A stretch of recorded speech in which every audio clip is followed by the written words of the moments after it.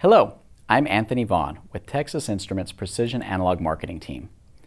Today I'm going to give you a quick overview of the features and resources available that make TI's line of precision SAR ADCs well suited for a wide variety of automotive and transportation applications. We have a rapidly expanding portfolio of SAR ADCs that are AEC Q100 qualified and specified for operation between negative 40 and 125 degrees Celsius.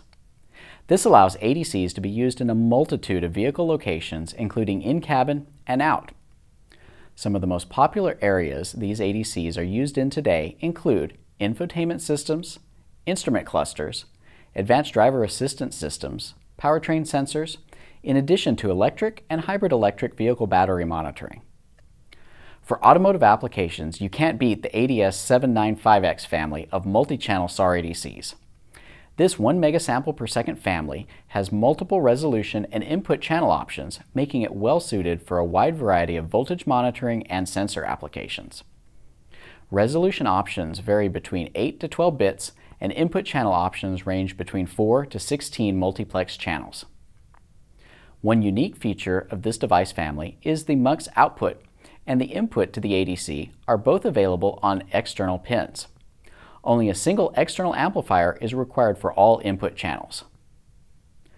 The programmable alarm feature enables two separate thresholds to be set on each channel, useful for monitoring fault conditions.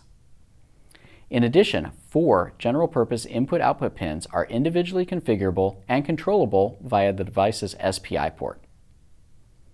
There are a number of online resources to help you get started on your automotive design.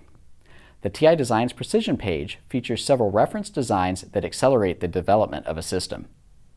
The E2E Support Forum is a comprehensive online resource where you can browse technical content and find the latest news and announcements about TI SAR ADCs.